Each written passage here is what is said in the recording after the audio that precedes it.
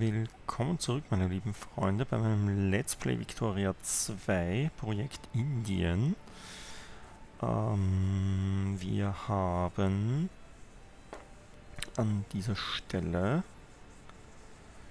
äh, uns das letzte Mal überlegt, wir könnten es riskieren, Makran zu versuchen anzugreifen.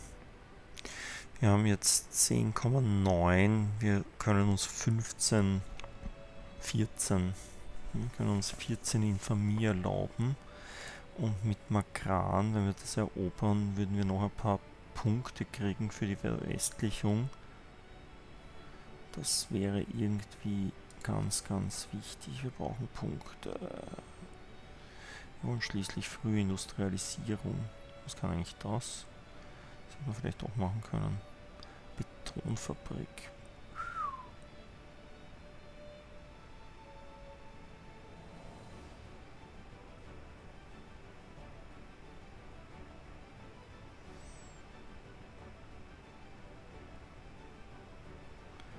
Ja, das passt schon.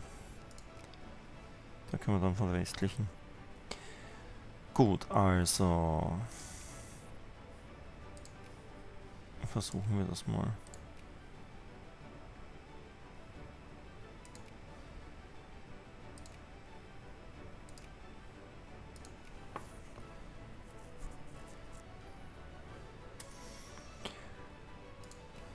In der Zwischenzeit verbessern wir unsere Beziehung zum Norddeutschen Bund und zu Großbritannien auch natürlich.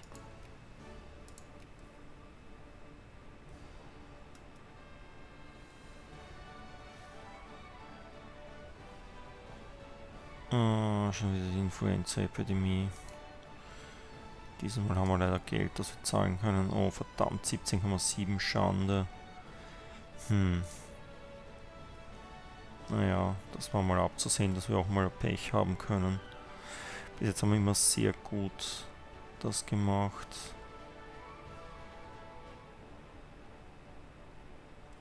Ja, wobei der Krieg dauert sicher nicht lange.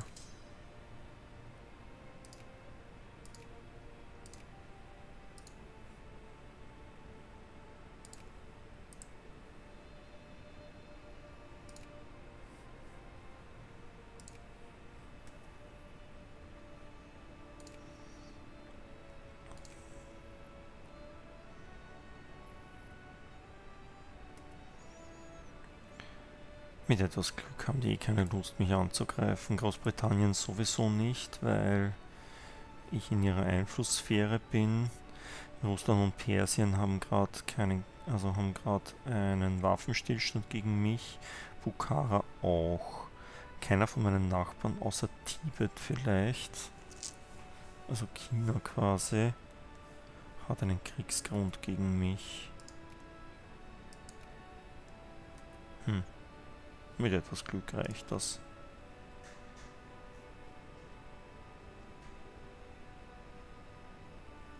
Ich will mich nicht mehr so ewig warten.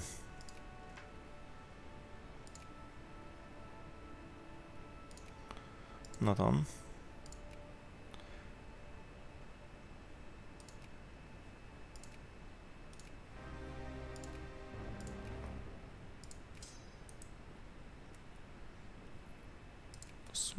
Machbar sein. Sehr nett. Sie sind weggegangen, das heißt wir müssen nicht einmal Krieg, äh, wir müssen nicht mal kämpfen. Wir müssen nur das Gebiet erobern. Oh.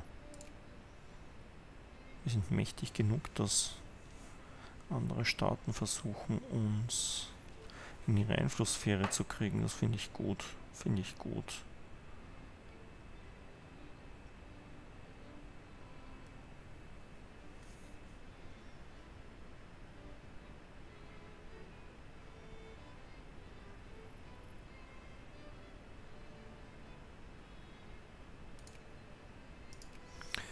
So, gut, das war ein ganz kurzer Krieg.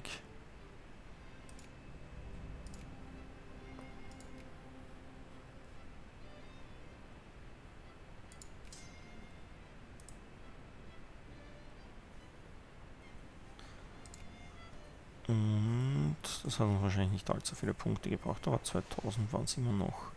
Oder? Naja, vielleicht weniger. Na, Punkte sind Punkte. Und jetzt haben wir wenigstens ganz Belutschistan.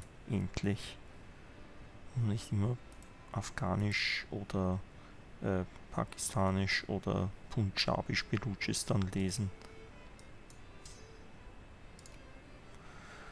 Und mit etwas Glück sind wir aus dem Infamiebereich draußen.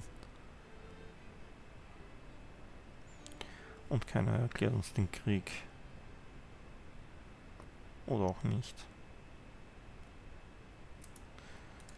Ach, wie...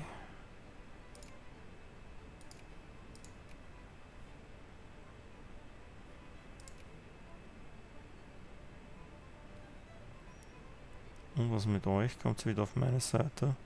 Nö.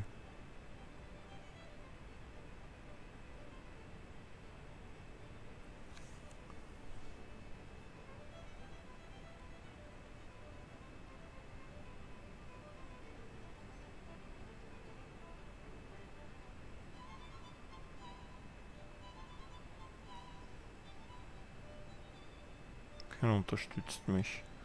Alle hassen mich. Ist eh klar. Das verliere ich, aber es ist nur Kiva, nicht Afghanistan. Hm.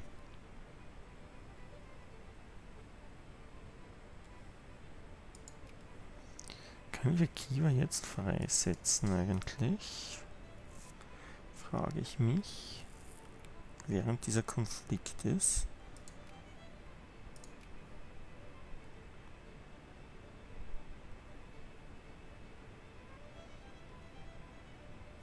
Das wird nämlich unsere Dings auch senken, unsere Infamie.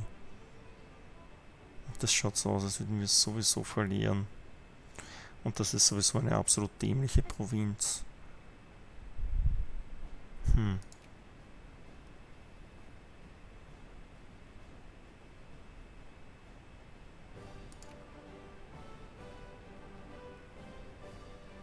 Hm, meine Infamie ist wieder unten.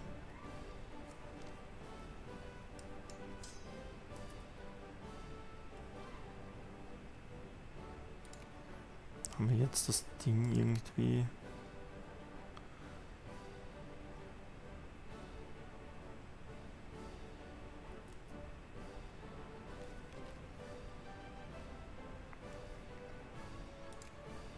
Hm, ich hoffe, ich habe jetzt das Spiel nicht gecrashed auf diese Art und Weise. Weil eigentlich geht das nicht mehr, weil Kiva hat bereits alle seine Kernprovinzen.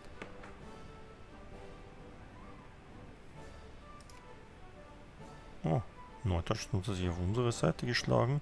Ach, wahrscheinlich, weil sich meine Infamie reduziert hat. Oh. Oh. Aber Österreich ist diesmal nicht auf der Seite. Aber Italien. Boah. Das kann Großbritannien nicht gewinnen. Niemals, niemals, niemals. Schon wieder. Wir werden in einen Krieg gezogen. Gekommt. Ja, jetzt gibt Frankreich auf keinen Fall nach, wenn die Picardie erobern wollen. Spinnt ihr, ihr Briten? Habt ihr nicht alle Tasten im Schrank? Ich will nicht mit euch Krieg führen. Ich habe das bereits freigesetzt. Ah, ah, ah, Gib einfach nach. Großbritannien.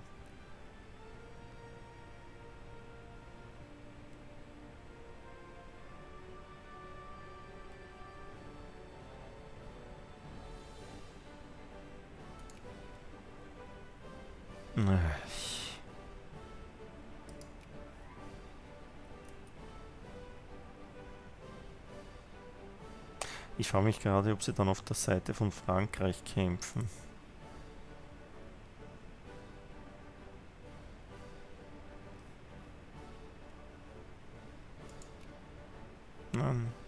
Das wollte ich. Wie schaut das aus? 5100.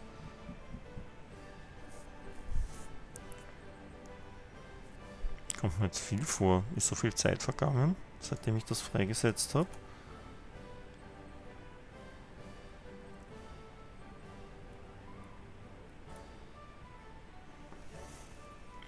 Oder hat Kiva, war Kiva so... Oh. So ein Hemmschuh, dass man jetzt so viel mehr ähm, Forschungspunkte produzieren. Hm. 3,88 und die Pluralität ist auch gestiegen. Das hängt mit dem Bewusstsein zusammen, glaube ich. Ach, wie. Pluralität 4%. Monatliche Veränderung plus 0,02. Hm. Naja, das ist jetzt nicht viel.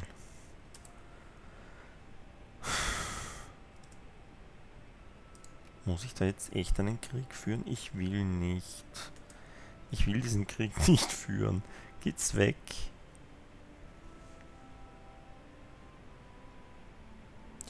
Na, vielleicht weil es nicht unabhängig ist, sondern nur Dings. Ein Vasall.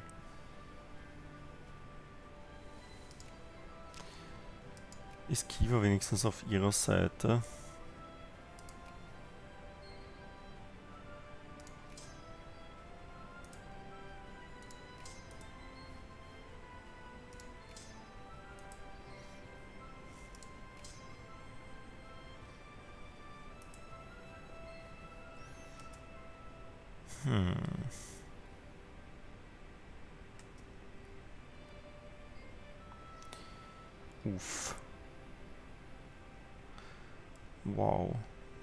Mobilisierung pur.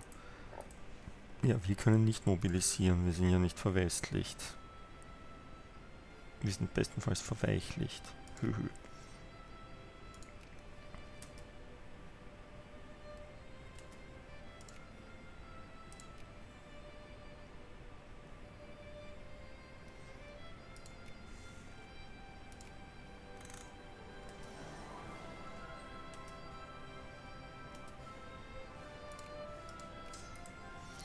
Hier geht's daher.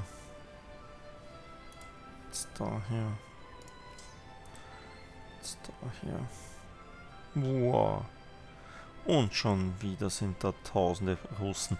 Aber gegen die, gegen die Perser habt ihr keine Truppen gehabt.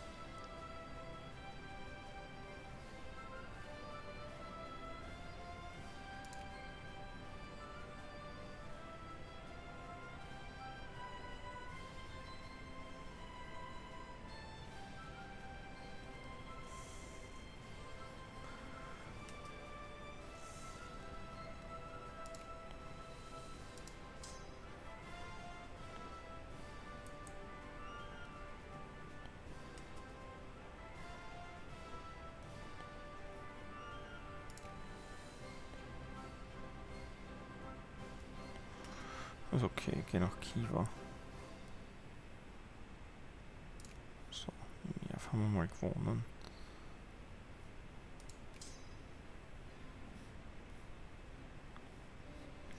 Verlieren wir diesen Krieg wieder? Ja, natürlich. Verlieren wir diesen Krieg wieder. Wieso sollten wir noch gewinnen?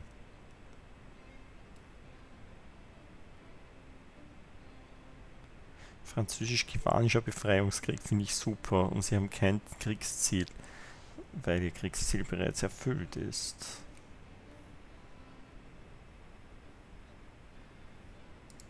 Hm.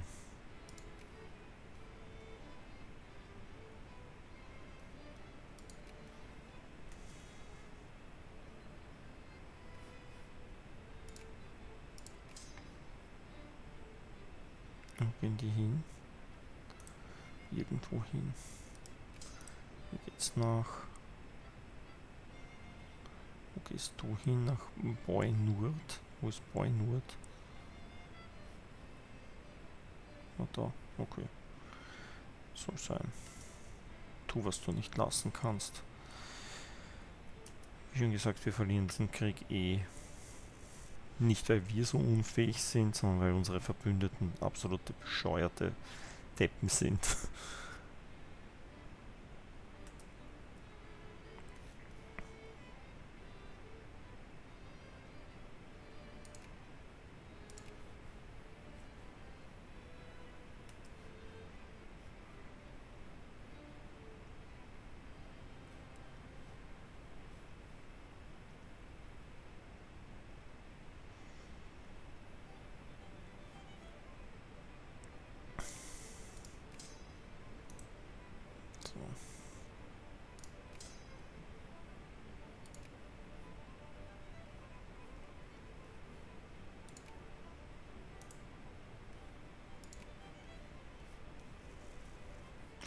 Keine Russen.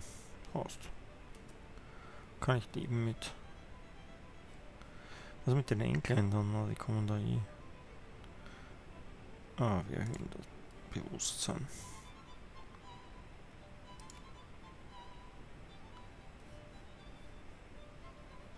Ah, da kommen sie wieder, die Russen. Hurra, da freue ich mich aber. So, so können Sie da rein.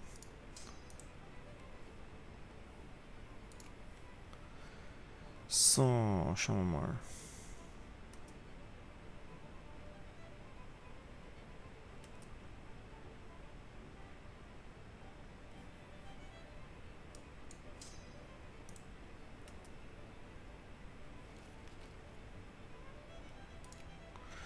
Ist okay, ist okay. 13. Juli. 22. Juli. Was ist mit euch? Das heißt nach Gasni. Was macht sie in Gasni? Geht's weiter? Gibt's das? Helft sie uns bitte gegen diese russischen Truppen?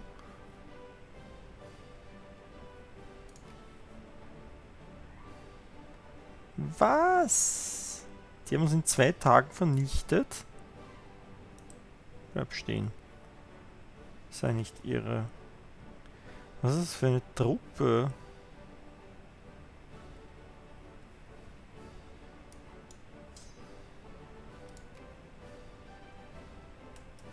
Gebiete.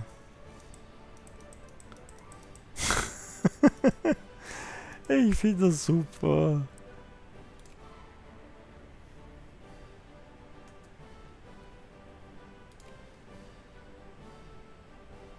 Ist das für eine Truppe, bitte? Das ist ja schrecklich. Hallo, britische Einheiten? Gibt es da irgendwo eine... Br Wo sind die Briten hin? Führen die nicht auch Krieg? Euretwegen führen wir das ist ein dummen Krieg. Okay.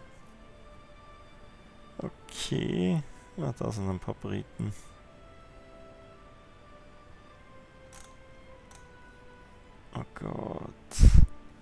Computer ist so unfähig.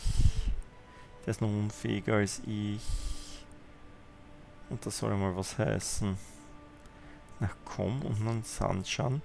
Was wollt ihr machen? Einen Angriff über den Dings, über den, über den, über die Berge vom Kaukasus? Ach Gott, das ist unfassbar.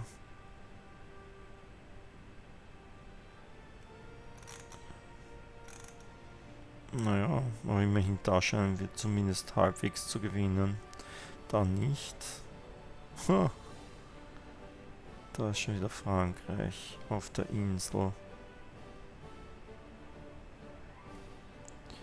Irre. Aber zumindest der norddeutsche Bund scheint gegen Russland zu gewinnen.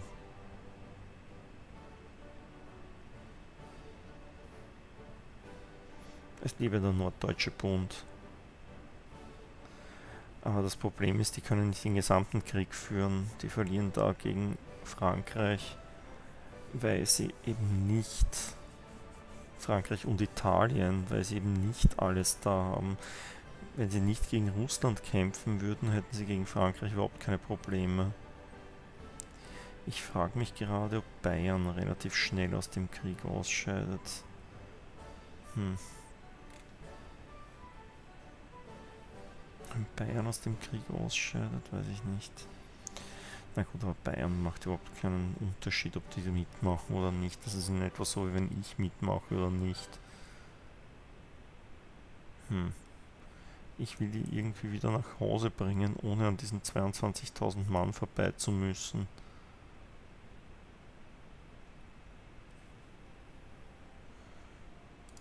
Äh, können wir sagen, okay, geht's einmal nach Nukus.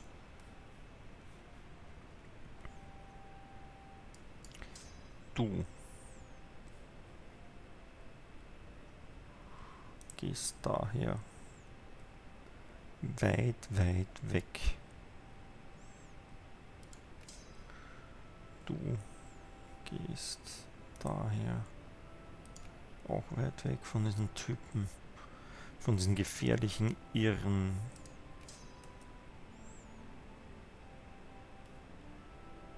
Ah, Pfizerbad haben sie auch schon erobert. Genau. Machen wir. Oh, und ihr rennt genau in die Russen rein. Sehr gut, das habe ich gut gemacht. Das habe ich echt gut gemacht. Komm, komm, flieh, flieh, flieh.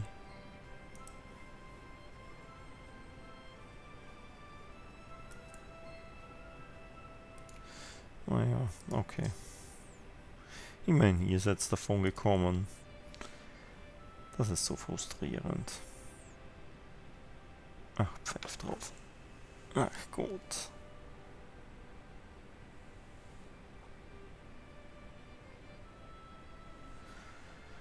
Wir hätten den Krieg so machen sollen, wir hätten all unsere Truppen nehmen sollen, nach Großbritannien reinziehen und gar nichts machen. Dann hätten wir nicht die ganzen Truppen verloren.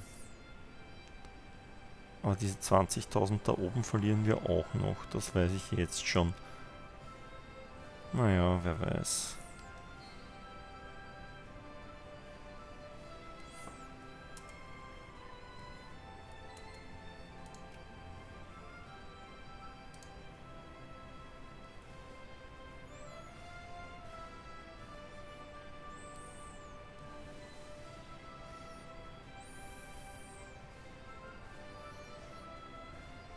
Hey. Schau da was an. Warte mal, warte mal, warte mal. Ach, die Osmanen kämpfen gegen Belgien, deswegen sind die da. Ich habe gerade gedacht, die Osmanen kämpfen auf unserer Seite. Wie kann das sein? Dabei sind die ja in Belgien, nicht in Frankreich. Hm.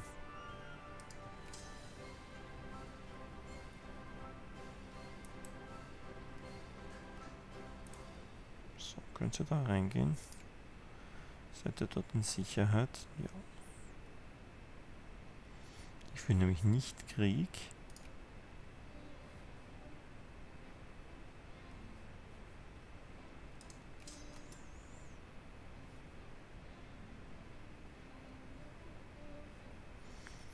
Ausgezeichnet.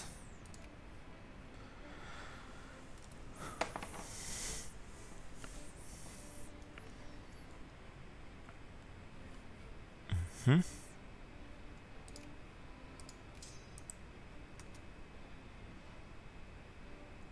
Und zurück nach Hause, kommt schon. Ist okay. Ist Jalalabad. Könntet ihr bitte diese Russen angreifen und nicht einfach nur durchhatschen?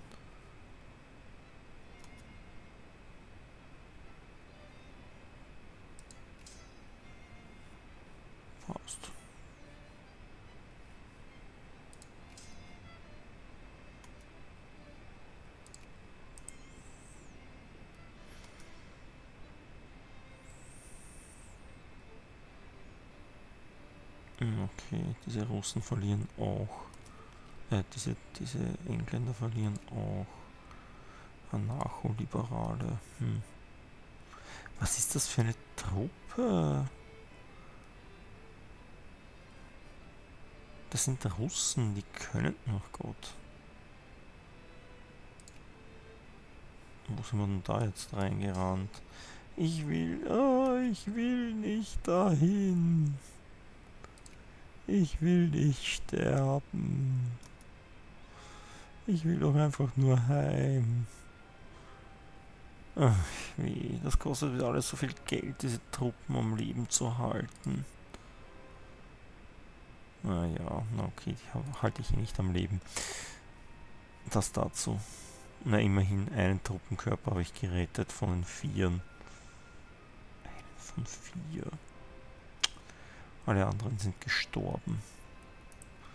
Und der, der überlebt hat, hat so, war so modig. Ach Gott. Das will ich erst gar nicht wissen. So, könnten wir bitte einen weißen Frieden machen? Gut. Danke. Hauptsache, wir haben noch einen Haufen von meinen Truppen vernichtet. Kraft. Hm.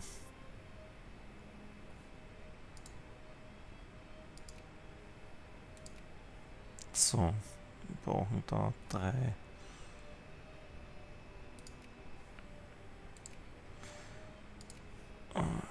wie Infanterie noch.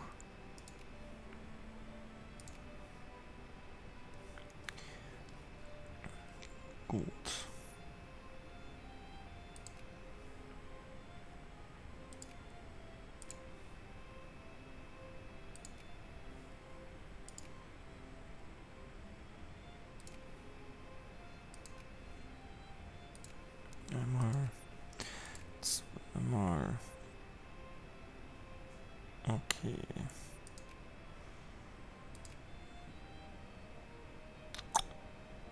Na okay. Vielleicht sollten wir doch lieber hier und nicht hier das machen. So, was haben wir da jetzt gehabt?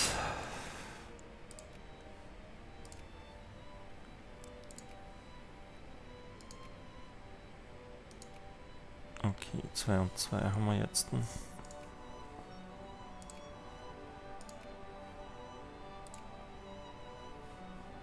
Und 4. Gut, und den Rest machen wir später. Machen wir mal das. Wie oft ich jetzt schon Truppen nachgebaut habe. Grrft. Okay. Es war abzusehen, dass Österreich wieder zum Groß, zur Großmacht wird, aber... Mh.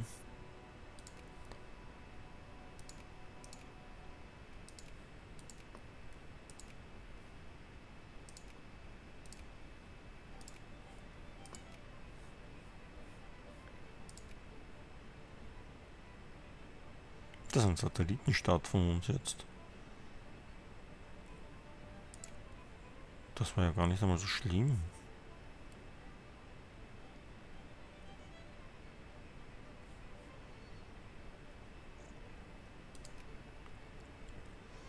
Und wie schon gesagt, das sind die ziemlich modig. Das passt schon.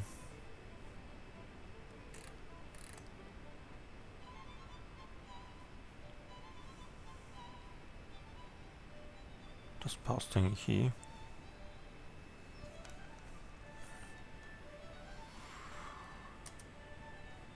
So, wir haben 6800 Punkte. Na gut.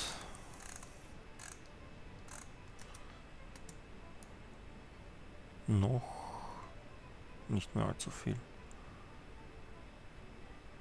Okay, Äthiopien hat gegen Ägypten auch gewonnen. Auch Ägypten wird auseinandergenommen offensichtlich. Hm, aber gut, die werden sowieso immer auseinandergenommen, nur von Äthiopien normalerweise eher nicht.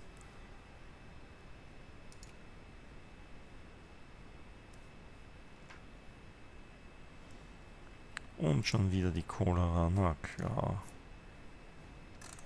Das wäre ja auch zu einfach.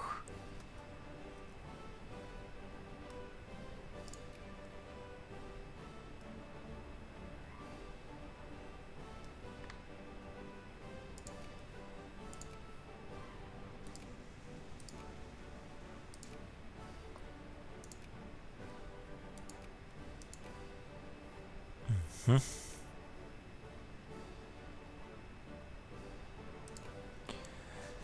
Spanien verbreitet sich auch wieder. Und wir haben wieder ein bisschen Punkte gemacht.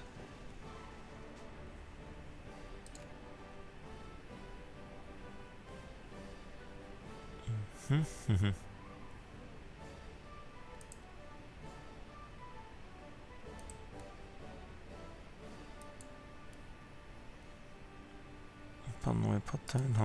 Auch. Naja, vielleicht sollten wir mal schauen, ob wir da was anderes nehmen können. Ah, die Sozialisten können wir gar nicht nehmen. Mittlerweile haben wir so viele Staaten also eingegliedert, dass volles Bürgerrecht nicht schlecht wäre. Protektionismus haben die eh alle. Ah, der Pazifismus ist schlecht. Oh. Okay, ich glaube, ich bin müde. Ich glaube, wir werden heute aufhören. Für heute aufhören, so. Hm. Hat Japan eigentlich schon geschafft, sich zu verwestlichen? Hm. Hm, wo ist denn das? Ach Gott. Die Nationsstufe da. Boah, Persien ist schon auf 90%, die Streber. Japan ist auch auf 80%.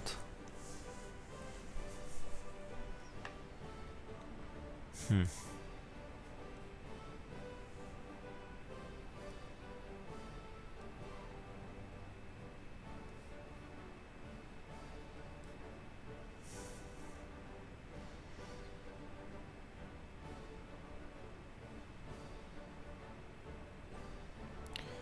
Na gut. Ähm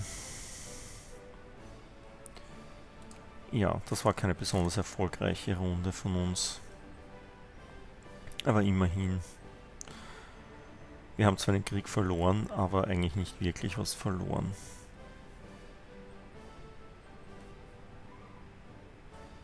Herrschaften, an dieser Stelle wünsche ich euch einen schönen guten Abend. Schlaft gut und träumt was Schönes. Bis dann.